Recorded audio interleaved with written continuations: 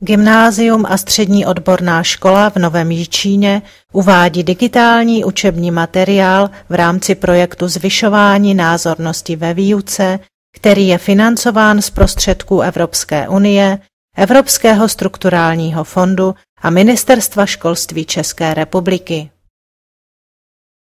Kapitola Objemy a povrchy, příklad číslo 18.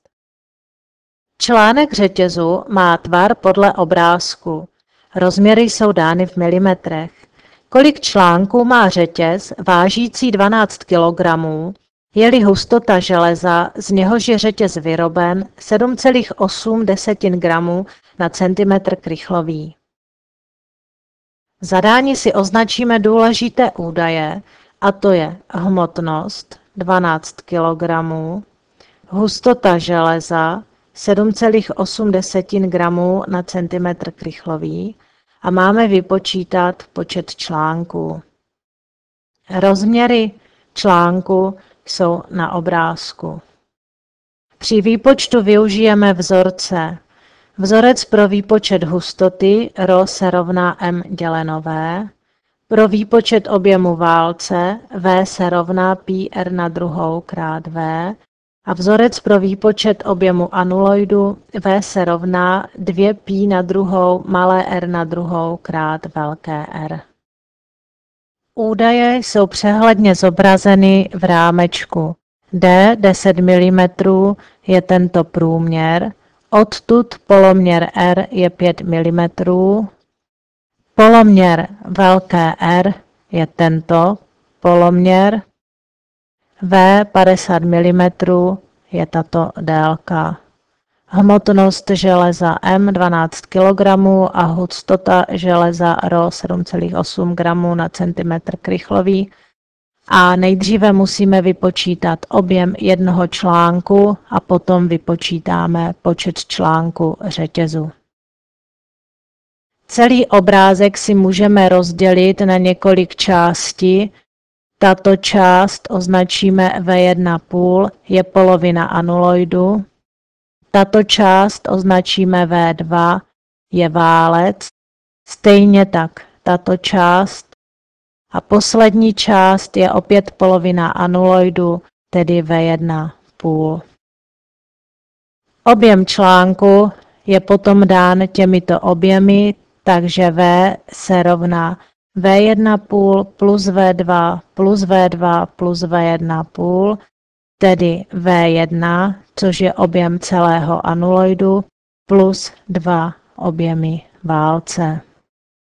Anuloid složený z těchto dvou částí máme zobrazen zde a jeho objem je dán vzorcem 2 pi na druhou krát malé r na druhou krát velké R, kde malé r je tento poloměr a velké R je tento poloměr.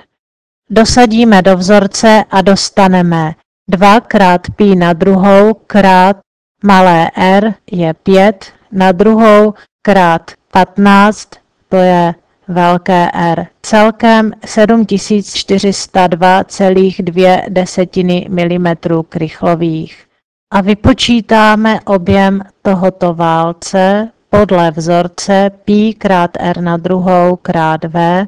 Pi r na druhou je obsah podstavy, r je tento poloměr a v je tato délka. Dosadíme pi krát malé r je 5, na druhou krát v je 50, celkem 3927 mm krychlových.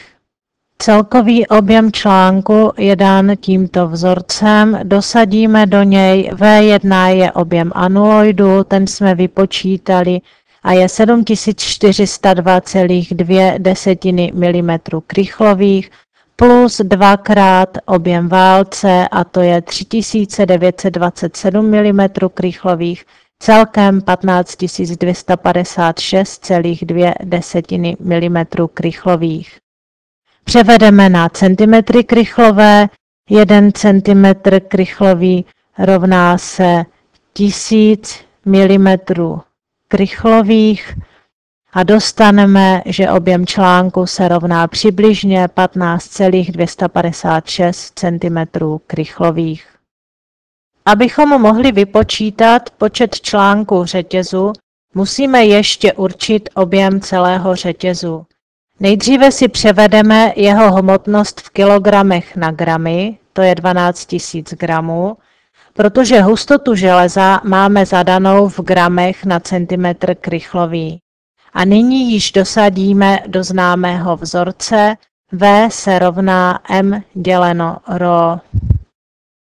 M je hmotnost železa 12 000 gramů, děleno hustota 7,8 a vyjde objem celého řetězu 1538,5 desetin cm krychlových. Počet článků řetězu pak určíme podělením celkového objemu řetězu objemem jednoho článku.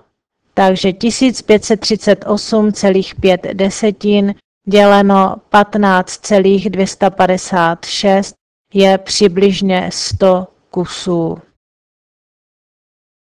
Řetěz má 100 článků.